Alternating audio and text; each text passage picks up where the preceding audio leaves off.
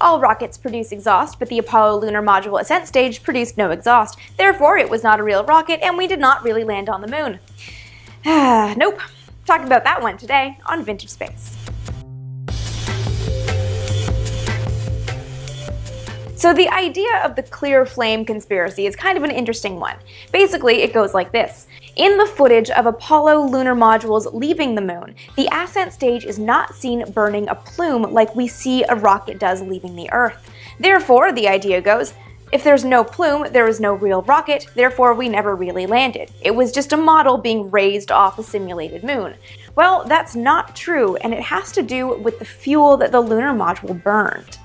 When you think about a rocket that's launching off the Earth with a huge plume of flame, you're thinking of something like the Saturn V, something that burned a mixture of kerosene and liquid oxygen to get off the ground. But the lunar module didn't burn the same combination of fuel and oxidizer. Instead, it used hypergolic fuels, or hypergols. Hypergols burn on contact. They don't need an ignition source, which means all you have to do is open a valve, let the two mix, and boom, you're off. Which is great with spaceflight because that's one less thing to worry about. Another characteristic of hypergols is that they typically burn clear. This is the case of the lunar module. Both the lunar module ascent stage and descent stage used a mix of aerozine 50 and dinitrogen tetroxide, a fuel and an oxidizer that burn on contact with a characteristic clear flame. A clear flame that you've all seen before.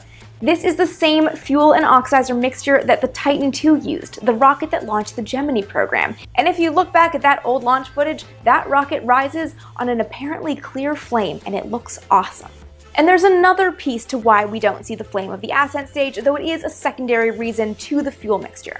On Earth, our atmospheric pressure means that we see the exhaust of a rocket as a column. It doesn't really spread out much because the pressure of the air keeps it contained. That's not the case on the moon where there is no atmosphere. Anything that burns can dissipate far more easily, so even if we could see it, you wouldn't see it the same as you do on Earth.